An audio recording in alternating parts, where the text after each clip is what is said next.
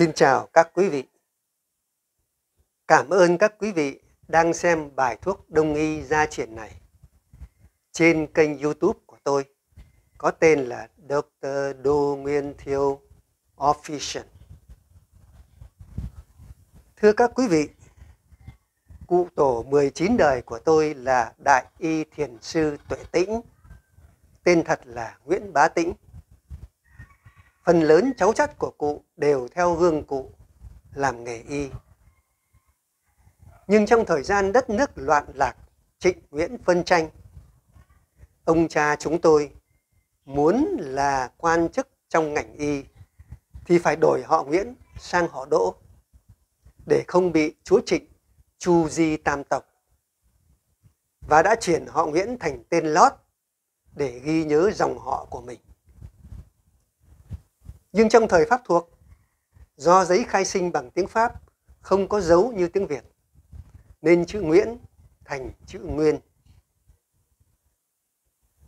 Sau cụ tổ tuệ tĩnh, ông anh tôi, bác sĩ, tiến sĩ, cựu Bộ trưởng Bộ Y tế Đỗ Nguyên Phương là tấm gương sáng cho tôi, là động lực giúp tôi kiên trì học tập y lý phương Đông cho đến khi nhắm mắt xuôi tay. Tôi xin cố gắng đem lại niềm vui và sức khỏe cho các quý vị qua những bài thuốc đông y gia truyền của cụ tổ chúng tôi để lại này. Rất mong được các quý vị ủng hộ, nhấn nút đăng ký kênh, giúp đỡ cho tôi, một lương y già 82 tuổi, thêm nghị lực giúp các bệnh nhân sớm thoát khỏi giường bệnh để hưởng hạnh phúc cuộc đời. Đây là bí mật gia truyền thứ 44. Chữa bệnh thương hàn, tái phát, tinh thần, hôn mê. Nguồn gốc từ cuốn sách Thần Dược cổ truyền của Đào Tiết Am, nhà y học nổi tiếng Trung Quốc. Bài thuốc này được ghi là đạo xích các bán thang dưới dạng thư nôm trong Hồng Nghĩa Giác Tư Y Thư, trang 129 của Đại Y Thiền Sư Tuệ Tĩnh.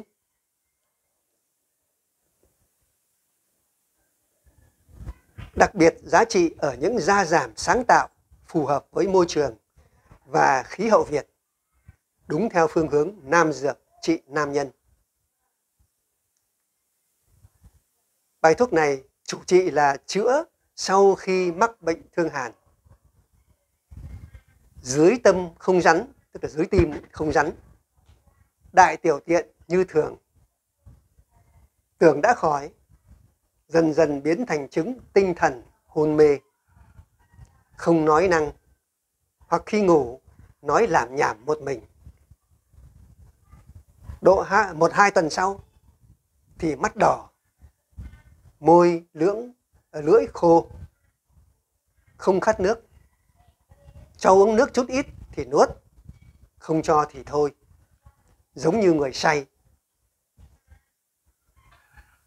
Nếu thầy thuốc kém, không hiểu. Chữa lầm, làm chết người rất nhiều. Không biết rằng đó là nhiệt tà truyền vào thiếu âm tâm. Tâm hỏa bức lên phế nên tinh thần hôn mê gọi là chứng vượt kinh. Bài thuốc gồm các vị thuốc hoàng cầm, hoàng liên, chi mẫu, chi tử, hoạt thạch, tê giác, nhân sâm, mạch môn đông, phục thần, cam thảo các vị trên thêm gừng ba lát, đại táo một quả, nước hai chén. Trùy pháp là gia đăng tâm, ra thêm đăng tâm một nắm. Sắc uống ấm. Bài thơ nôm đạo xích các bán thang. Chủ vượt kinh tâm loạn thần hôn tức là nếu theo thứ tự truyền kinh ấy, của bệnh thương hàn ấy, thì khởi đầu là ở ba kinh dương từ thái dương qua dương minh rồi đến thiếu dương. Hết dương kinh thì mới truyền vào âm kinh. Từ thái âm qua thiếu âm rồi đến quyết âm. Mà bệnh chứng ở đây từ dương kinh truyền vào lại vượt qua thái âm vào ngay thiếu âm tâm nên gọi là vượt kinh là vì thế. Thầy hay chữa được chứng khôn, tức là chứng đỡ, chứng khỏi, ngỏ thông, cảm thụ, căn nguyên, suy cầm, tức là suy tìm căn nguyên bệnh là như thế nào, rồi chữa. Thương hàn mới phải chưng sau, tâm phúc chẳng rắn, chẳng đau, chẳng đầy tức là dưới, tâm không đau, bụng thì không đầy. Chẳng có sốt rét, đâu nay đại tiểu tiện dày bình thường người ta. Xảy nên biến chứng, đấy là thần hồn bất ngữ, lẽ đà khôn xong tức là tinh thần hôn mê, không nói năng gì. Ngủ nằm những nói mơ mộng. Một hai lời nói chẳng thông hiểu điều. Hoặc là nhãn xích thần tiều, tức là môi đỏ, môi khô xám, mắt đỏ, môi khô xám. Thiện can bất ẩm chứng nghèo, khôn hay, lưỡi khô mà không uống nước. Cho thì ăn uống chút hay, chẳng cho thì chớ nào hay lo tìm bằng người say ngủ lim dim, thầy hèn chẳng biết luống thêm lẫn lầm. Nhiệt tà truyền lý thiếu âm thiếu âm tâm đấy. Tâm hỏa viêm thượng phế kim, thụ tà, tức là nóng bốc lên lên phế. Gọi vượt kinh, thực chẳng hoa trước ngõ bệnh chứng, sau ta sẽ dùng.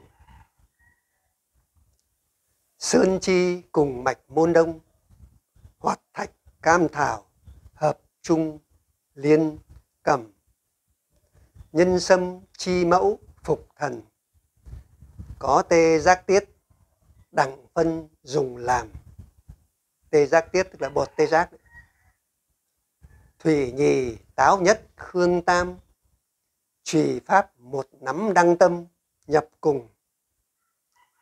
Sắc vừa còn đến một chung, tức là một chén. Bỏ bã, uống ấm, nên công lạ giường thì sẽ khỏi bệnh.